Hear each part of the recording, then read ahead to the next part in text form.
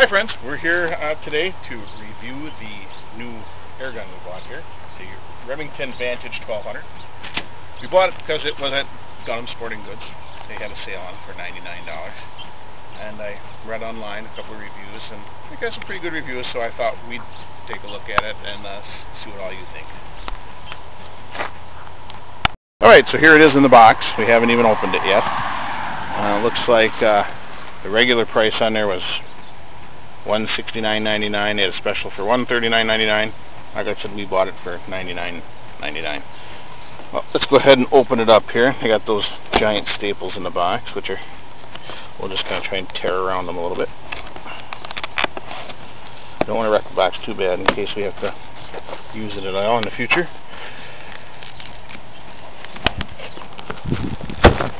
There we go. Minimal packing materials in here. And again, it probably doesn't need any. Here's the scope. Uh, it comes with a, a low-end scope. I believe it's a 4x32. We'll use it on there because we're not. We're just going to be shooting uh, ground squirrels in the yard, sparrows in the barn, kind of thing. Maybe a rabbit or two here and there.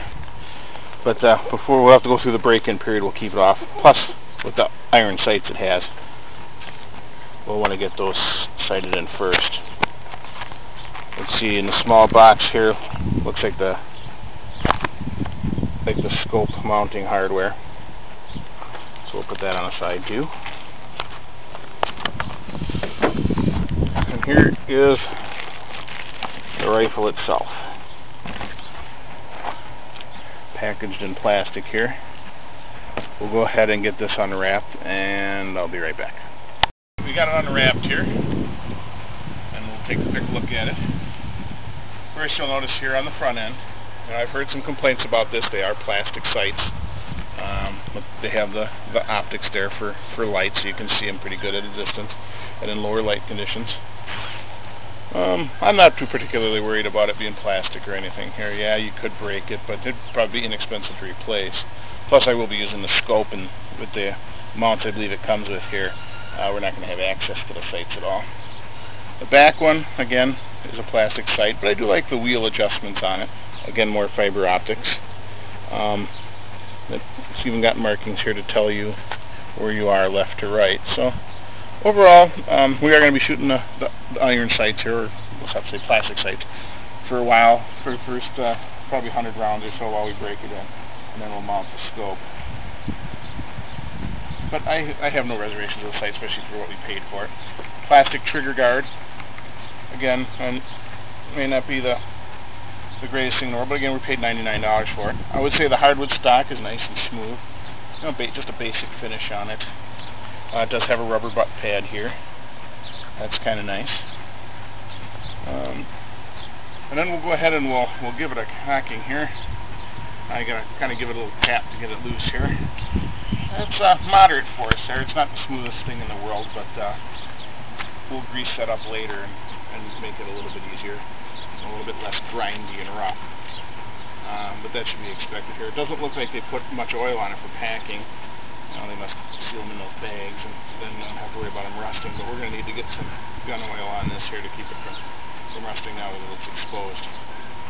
But other than that, it, it's uh, you know got a nice solid feel to it.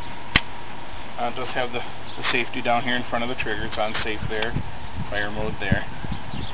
And let's go ahead and we'll just dry fire it here. Um, this does use a, a, spring piston design here, so it's, it isn't the nitrogen. Uh, but here in Wisconsin, that could be an issue in the cold. Uh, you know, the spring and the fatigue from leaving it cocked for a while could be an issue. Uh, but again, it's a, another $50 more for something lower class with the with the nitrogen option. So overall, I think it'll work pretty good. Let's go ahead and pull the trigger on here. I, I actually did it off camera first here to blow the packing while a lot of it stuff. The trigger does seem to have quite a bit of creep on it. And it is a little, it doesn't, uh, it is a little bit more, a little bit harder to pull than I would like. I knew they make some upgraded trigger options for this from, from third-party manufacturers. We probably will take a look at those and maybe install one at some point. Although this one is also adjustable, so we'll, we'll look at adjusting it too. Go ahead and fire this. You see a lot of packing grease still coming out of it. it, uh, oh, overall I'd say we this gun would rate pretty highly for the $99 price tag. Uh, just from the sounds of it, it looks like it'll have enough power. I have read that it's fairly accurate, uh, although some people are having trouble keeping it accurate because of the way the trigger is set up on it. We'll look at that later.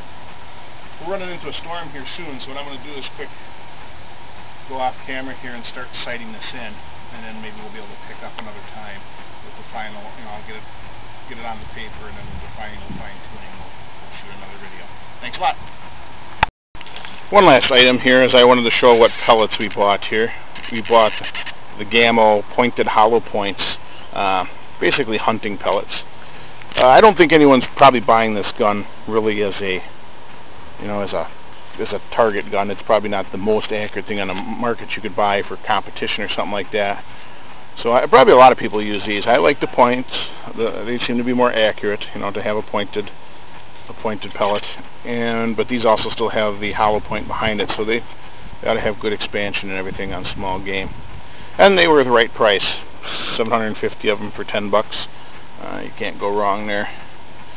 So that's what I'll be sighting it in with and shooting. I always recommend using the ammo you, you plan to use the most for your application, you know, sighting the rifle in with that same ammunition is, you know, just like a regular firearm, uh, an air gun.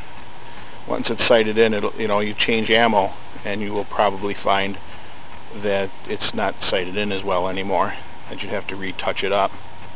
So I'd say pick your pellet for your application and uh, try and keep shooting that pellet all the time.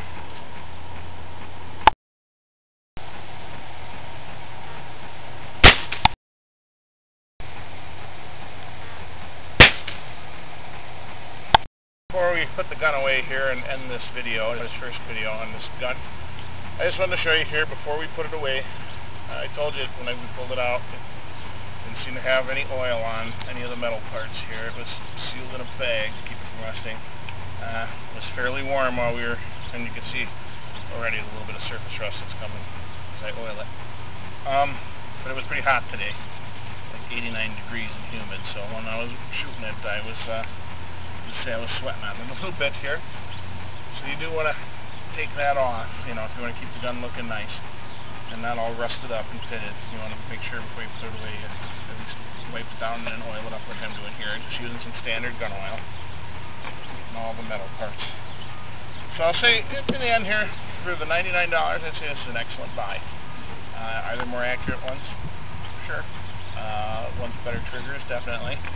Um, might be even some a little bit more powerful. This is 1200 feet per second with uh, lead-free ammo, ammo. Uh, which will bring us to another point here I didn't cover in the video. Uh, a lot of people, you know, especially in more urban areas, are popping chipmunks in the backyard or whatever. Uh, noise is a factor.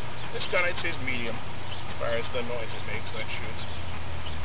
There, uh, one thing I'd say when you get a gun that's 1,200 feet per second, remember the speed of sound is between 1,000 and 1,100 feet per second. So if you're using the PBA lead-free ammo, um, in an area where you want to be quiet, it's not your best choice. You want to use lead so it goes a little slower. Because if that PBA pellet breaks the sound barrier, it's going to make a tiny sonic boom, which is going to make it quite a bit louder than it would with, a, with lead ammo traveling just a little bit slower.